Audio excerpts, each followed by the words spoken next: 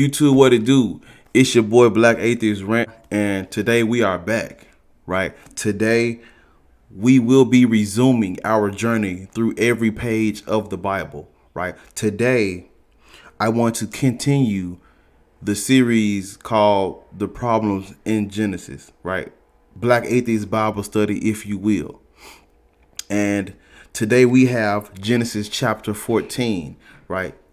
And the reason why we do this, right? The reason why I do this Bible series is because people like to tell me and others like me that we take the Bible out of context. And so I threw my hands up and I'm like, cool. Right. If I'm taking the Bible out of context, cool. Then I will do what I must do. I will read every page. I will read every line, every verse, every bar. That way, once I'm done and I and I talk about it, there is no more I'm taking it out of context because I have read for myself and I have understood what the book has said, right? Also, I would like to remind you that this is the book that Christianity wants us to base our entire existence off of, right? This one book is our guide to the universe, according to them. And so what we will not have is we will not have a scholar come in and help us with this. I don't want a theologian's help. I do not want a Bible scholar's help. I should not have to go to school and get a degree in theology to understand the book you want me to base my entire life off of. So, with that being said, without further ado, let's get into the Word of God.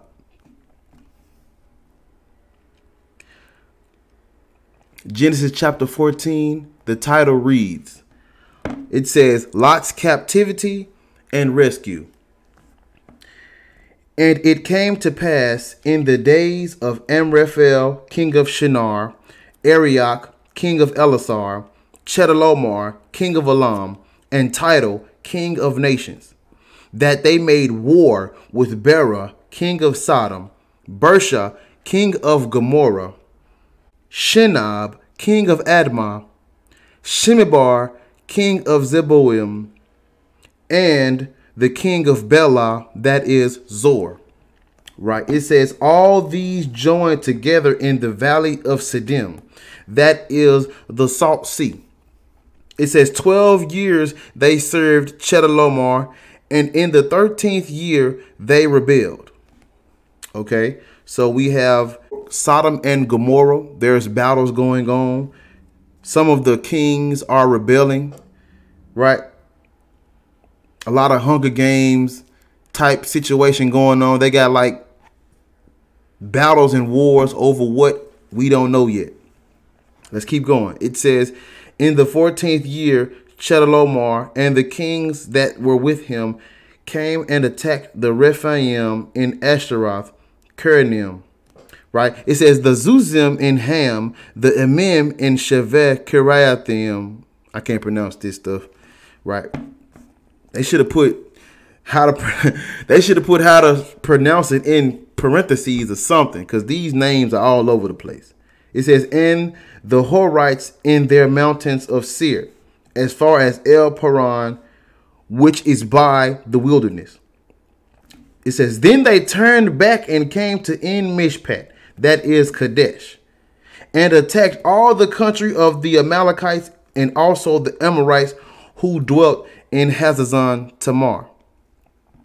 Again, they're fighting, they're rebelling, and I'm trying to see what was God doing during all of this commotion, animosity, and beef, right?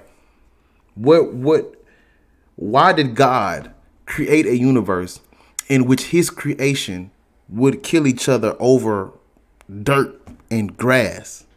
Right? Why why do why does why does this excite God? Why does God let this happen? Why does God create us? I mean, why did he create these people with these desires and this sin? I don't get that. I I I, I guess that's me not being able to understand God's will. But his will be done. But he created a, earth. He created a universe. He created a world in which people would kidnap each other, hold each other hostage. You know what I'm saying? Rebel, go to war over land and resources when he could have just made enough land and resources for everyone to go around. Right. And he probably, you know, I just don't understand this. I don't get this. Right? They say we sinned against God, but God created everything. Why did he create a universe in which people fight over like the things these people fought over does not matter now because all of them are dead. Right. The the grass and the trees they fought over is probably buildings and cement in the way. So it's like ultimately God created a universe in which we would fight over things that wouldn't exist after we pass away. Let's keep going. It says, And the king of Sodom, the king of Gomorrah, the king of Admah, the king of Zeboim, and the king of Bela, that is Zoar, went out and joined together in battle in the valley of Siddim against Chedorlaomer, king of Elam, Tidal, king of nations, Amraphel, king of Shinar, and Arioch, king of Elasar. Four kings against five, right? It says, Now the valley of Siddim was full of asphalt pits, and the kings of Sodom and Gomorrah fled after the battle. It says, some fell there, and the remainder fled to the mountains. It says, Then they took all the goods of Sodom and Gomorrah and all their provisions and went their way. They also took Lot, Abram's brother's son, who dwelt in Sodom.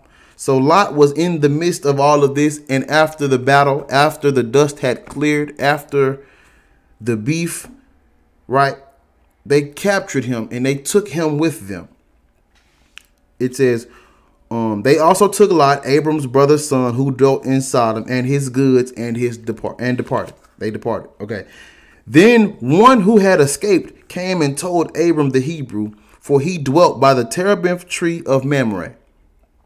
The Amorite, brother of Eshcol and brother of Aner, and they were allies with Abram it says, Now when Abram heard that his brother was taken captive, okay, I want to pause right there because at the top it says, They also took Lot, Abram's brother's son. At the bottom it says, Abram heard that his brother was taken captive. This is this whole story is about Lot's captivity and rescue. So, ladies and gentlemen, is Lot Abram's brother's son or is Lot Abram's brother? right? I, if this if these verses are talking about the same person, which is Lot, then they are misconfused. They are misconstrued. This is a misunderstanding on the Bible's part, right? Every word is inspired by God, and this is an error. Because how can Lot be Abram's brother and Abram's brother's son? If these two verses are both referring to Lot, then this is a contradiction and this doesn't make sense. My bullshit detector's going off, right? Let's keep going. It says, He armed his 318 trained servants who were born in his own house, and he went in pursuit as far as Dan. He divided his forces against them by night, and he and his servants attacked them and pursued them as far as Hobah, which is north of Damascus. So he brought back all the goods and also brought back his brother Lot again referring to Lot as Abram's brother, but at the top, it's Abram's brother's son. Y'all make sure y'all lock in now. Right? It says, brought back his brother Lot and his goods, as well as the women and the people. It says, And the king of Sodom went out to meet him at the valley of Shaveh, that is the king's valley. After his return from the defeat of Chedorlaomer and the kings who were with him. Right? It says, Then Melchizedek, king of Salem, brought out bread and wine. He was the priest of God Most High, and he blessed him and said, Blessed be Abram of God Most High, possessor of heaven and earth. Now look, it said, God Most High, possessor of heaven and earth. The whole, I want y'all to understand this. The whole world is in God's hands, right? So as they were going to war and rebelling against one another, God intended on that to happen. That is what God wanted. He wanted people to die, right? Innocent people who were forced to follow their master or their king or whatever. Those people sacrificed their lives for what? Ultimately. The people that died during this battle, you know what I'm saying? There are just those are just pawns in God's hand to get to what? What what exactly are what exactly does God have to say for himself? Right. Big Jeezy needs to come and explain why he created a universe in which people would go to war and fight each other and kill each other. You cre- the trip part is this, y'all. God said, "Be fruitful and multiply," and then chapters later, he's he's allowing this to happen because this says, "Possessor of heaven and earth." He has the whole world in his hand. So why would you command us? Why would you give us instructions to be fruitful and multiply, and then you give us scenarios? You give us scenarios in which we would kill each other over plants, dirt, rocks, right? Areas of land. That doesn't make sense to Ball. Right? That don't make sense to me. Blessed be Abram of God Most High, possessor of heaven and earth. And blessed be God Most High, who has delivered your enemies into your hand. Now, I, now this I want to lock in on this part right here because it says, "Who has delivered your enemies into your hand?" God delivered Abram's enemies into his hand, and I'm like, well, first of all, you created his enemy, right? You created everything, including the person that he doesn't like, including the people that captured his brother slash nephew, right? Why did you create their enemies? Why do you get the credit for delivering their enemies to them when you should also be getting the credit. You know, I'm cool with you getting the credit for that, Yahweh and Big Jeezy. I'm cool for y'all getting the credit for that. But I also want people to give y'all the credit for creating their enemies. You see, they love to give credit to God when it turns out in their favor, but they never want to say, well, who created my enemy? Right? You delivered Abram's enemies into his hands, yet black people were slaves for 400 years. Why didn't you deliver our enemy into our hands, right? It didn't take him 400 years to get his uncle or his nephew back, right? How many times have you delivered my enemies into my hand? Why do I even have enemies? Right? Why were black people slaves? Why would you deliver Abram's enemies into his hand and then not deliver ours into our hands? Right? If you're going to start, if you're going to go down this road of helping people and intervening and showing your works, cool, God, cool, Yahweh, cool, Big Jeezy. But I want you to be consistent, right? I don't want you to pick favorites. I want you to bless everyone equally or don't bless nobody at all. Amen. Am I talking? Am I? Come on. It says, and he gave him a tithe of all. Now the king of Sodom said to Abram, Give me the persons and take the goods for yourself. Now, notice how they refer to the persons, right? The, the men and women who are under them, right? They trade them out like goods. They're trading people for goods, right? They're talking about, hey, you give me the people, I'll give you some some some canned some canned fruit and shit like that. Like these people are like these people are property in this book. If you were not a king or a high priestess, you basically property because they can trade you out for a loaf of bread, for a cup of wine. Look at it. It says, give me the persons and take the goods for yourself. As if these people, who are they? They don't matter. Now, did y'all notice how at the top it it numbered it? No, hold on. At the top, it named every king that fought, and it numbered every servant that was un, that, that was born in Abram's house. Right, every last one of his servants. They counted them, three hundred and the women barely get names. Who are women? How many women were around during this time? It doesn't name them. It doesn't care about them. How can a woman read these pages and still say, I'm going to give my life to Christ? How can women read this book and say, This is a God that loves me. You don't y'all don't even get names. Y'all don't even get numbers. You know, the men get numbered and the kings get named. Y'all don't even get names in the book until like what? 40 chapters alone? Come on now. Right? It says, Give me the purses and take the goods for yourself. But Abram said to the king of Sodom, I have raised my hand to the Lord, God Most High, the possessor of heaven and earth, that I will take nothing from a thread to a sandal strap, and that I will not take anything that is yours, lest you should say, I have made Abram rich, except only what the young men have eaten, and the portion of the men who went with me.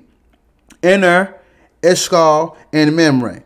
Let them take their portions. Right? So um the king of Sodom offered Abram what what they had won from the battle with Chedorlaomer and other kings, and Abram said, "No, I have God on my side. I don't need none of these things." The trip part is Abram doesn't want any of these um, spoils after the battle of Sodom and Gomorrah. Right? He doesn't want any of these spoils because he has God on his side. Yet instead of, but my my thing is, why didn't you just ask God to go get Lot back?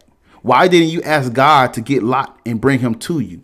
Right? See, you had to get 380, you had to get 380 of your servants and go do it yourself while simultaneously having God on your side. That doesn't add up.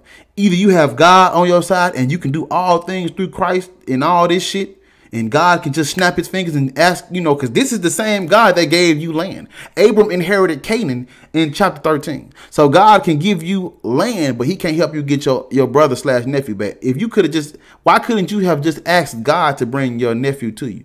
Why couldn't you have just asked God to bring your brother Lot to you, right? Instead, you put your servants in harm's way to get him back. And then when it comes time to get some of these spoils, oh, I have God on my side. I'm I'm I'm a part of God's the most highest club, right? That's crap. Either you a part of the club or not. What are the benefits of being a part of the club? You mean to tell me I get to claim to be in this group that are favor this this group that's favored by God, and yet when something happens, like someone in my family gets captive, they get caught, they get captured. Oh, God can't help me with that, I got to go get other people. And then the trip part is you use your servants to get Lot back, and then you gave all the credit to God, Abram. Abram, God gets all the credit whether he helps or not. Whether God steps in or not, he gets all the credit. I think that's just fucked up and sick. Right? God always gets the credit. He gets the credit where the credit is not due, y'all. But that's the end of chapter 14. You know what I'm saying? A lot of fighting going on people getting captured, people not, you know, women not getting names still, but men getting numbered, you know, same old, same old. if you enjoyed yourself, like, subscribe if you want to find your way back. You know, make sure you hit the subscribe button. Make sure you make sure you got the post notice on so you can know when I post videos. Um, yeah, we're gonna keep this thing going. My goal is to go through every chapter of this book, right?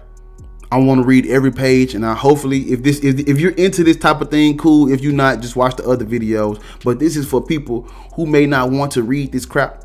This is for people who may not, you know, they want to hear me talk, but they want to hear me talk shit about this book. I got you. That's that's what I'm here for. Right? This book is crap, and we're gonna prove it one page at a time. Peace.